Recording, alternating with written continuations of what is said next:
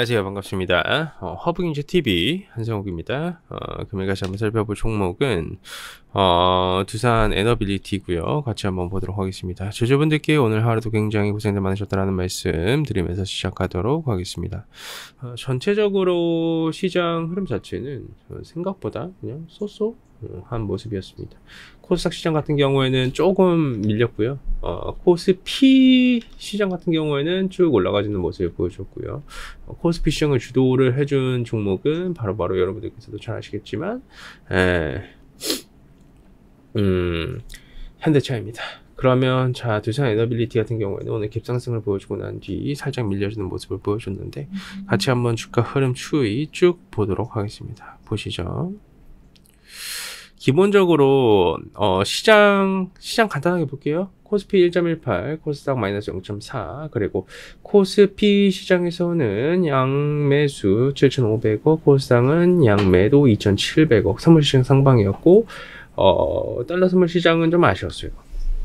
코스피 시장이 너무나도 좋았는데 이게 현대차를 필두로 현대차가 주가를 끌어올리다 보니까 어, 시장은 올라가줬는데 그 굉장히 좀 선배장인 장세가 이어졌다. 이게 좀 핵심이고 포인트이지 않나라는 말씀 좀 드리고 싶고요. 이 와중에 두산 에너빌리티는 프로그램 매수 2만 9천 주 정도 들어가줬고요.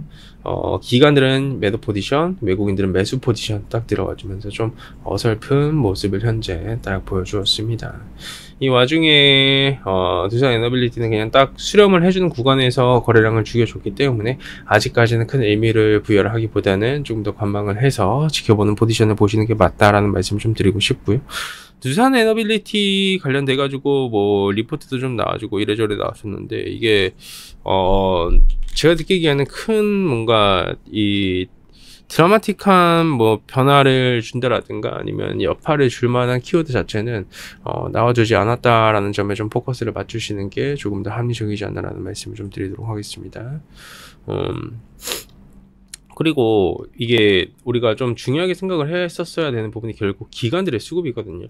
여기서 기관들의 수급이 이렇게 끊기면 안 돼요. 기관들의 수급은 조금 더 들어와 줘야 되고요. 여기서 특히 연기금과 투신 쪽에서의 포지션이 만약에 매도 포지션을 나와주게 된다라고 하면 이거 계속 좀 찍어 누르겠다는 뜻이에요. 왜냐하면 기관들의 포지션에 의하여 주가 자체가 반등을 보여줬는데 기관들의 포지션이 여기서 갑자기 바뀐다라는 뜻 자체는 이들이 지금 애매하게 보고 있다는 뜻이에요. 어, 애매하게 보고 있기 때문에 같은 흐름이 나와주고 있다. 여러분들께서는 어, 두산 에너빌리티를 볼때 외국인들의 포지션을 보지 마세요. 외국인들이 370만 주 매수했다고요. 이거 물량이 주가 올라갈 때 다 나와요. 그러니까 아주 쓰레기 같은 애들이에요. 외국인들은 신뢰를 할 수 있는 수급이 아니다라는 말씀 좀 강조해서 드리고 싶고요. 그렇기 때문에 여러분들께서도 일단은 그 정도까지만 지금 포인트로 잡아주시면 될 것 같아요.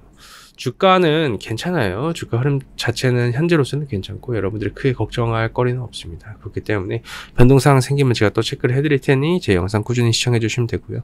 저는 굉장히 유의미한 변동성 혹은 유의미하게 우리가 체크를 해야 되는 부분이 있을 때에만 최대한 그 부분에 집중해서 말씀드리려고 합니다. 오늘도 간단하게 흐름 체크를 해봤으니 그 정도까지 이해해 주시고요. 잘 아시겠지만 허브인지 TV 주도 주체험도 하고 있고 좋은 결과물도 내나가고 있어요.